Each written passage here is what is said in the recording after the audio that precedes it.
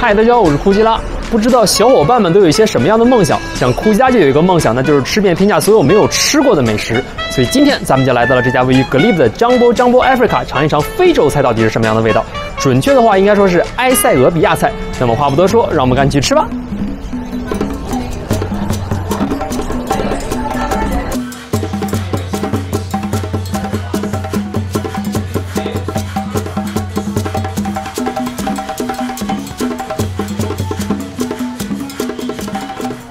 咱们现在也进来了。刚刚库家看了一下菜单，它这里有这种两人起点的拼盘，感觉非常的不错。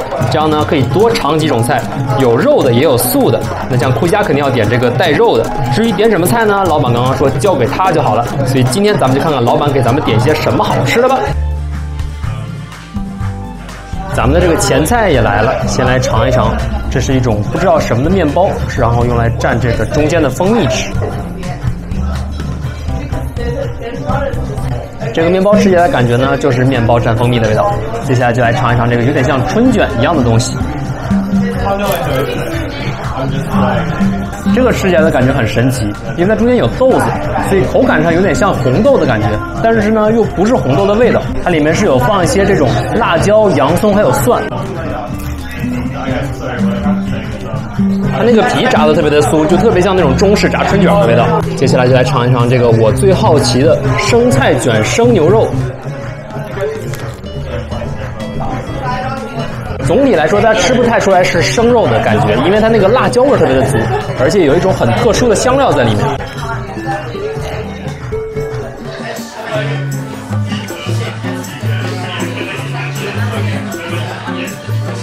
咱们的主菜也来了，真的是贼大一盘啊！我看菜单上不是六道菜吗？这个也不知道是卖的比较贵，还是老板给我特制的。反正这么数过来，一共有好像十一道菜。首先说到埃塞俄比亚菜，就必须要提到这个长得非常有特色的这个英吉拉，是一种用太麸在发酵过之后做成的小饼，把它撕成这种大小的小饼之后，再夹着里面这个菜，把它包在这个小饼里面吃。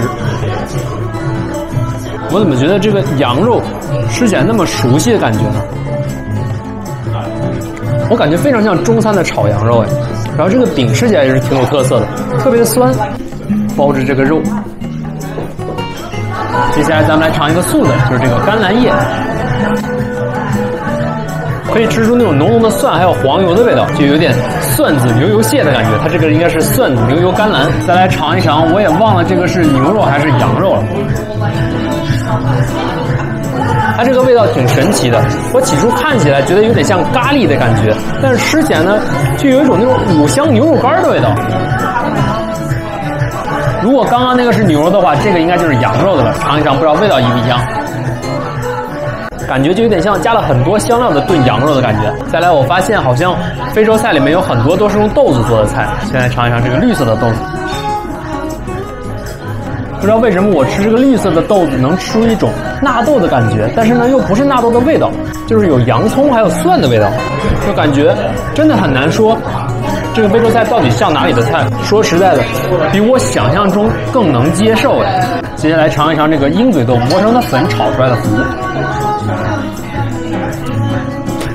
吃起来有一种似曾相识，但是又说不出来是什么的味道，而且总体的感觉就是一种酱的样子。再来尝一尝这个黄色的豆子酱，然后这个黄色的酱吃起来就是那种带一点微微的那种甜味儿，但是明显又不是放了糖的那种甜味儿。再来尝一尝这个，他刚刚介绍说是叫做蔬菜咖喱的东西。虽然它叫做咖喱，但是跟我已知的那些咖喱的味道都完全的不一样。至少它不是印度咖喱，也不是日本咖喱的味道。除此之外，它刚刚一上菜的时候，我就发现那个盘子里面有两块羊蝎子，但是其实它这个是山羊肉。咱们来尝尝看，山羊肉和羊肉到底有什么不同？如果说山羊肉和羊肉有什么不同的话，我觉得就是山羊肉要更膻，而且要更瘦一点。还有一点吃埃塞俄比亚菜特别要注意的地方，就是一定要用右手，是不可以用左手。接下来我准备来尝一尝这个埃塞俄比亚炖鸡腿，这道菜可不得了。据说在当地嫁人的时候，女孩如果这个菜做得好，才能证明她是一个非常贤惠的媳妇。它这个鸡腿也总觉得是有一种似曾相识的味道在里面。好像有一点点咖喱的味道在里面。其实，因为他们当地的习俗，在埃塞俄比亚周三和周五是不吃肉的，还有一些特别的节日也是不吃肉，所以就有非常多、非常丰富的那种素菜。不知不觉也吃了一圈了，我现在感觉最好吃的是中间那个炒羊肉的，羊肉特别的嫩，然后那个味道带着番茄和洋葱的香味儿。其次就是这个五香炖牛肉了。哎呀，不行了，吃不了了，实在是吃不了了。虽然说它每一道菜都没有很多，但是呢，实在是太大一盘了，而且底下配了好多英吉拉，吃起来就感觉特别有饱足感。剩下的这些咱们就留着打包，明天再吃了。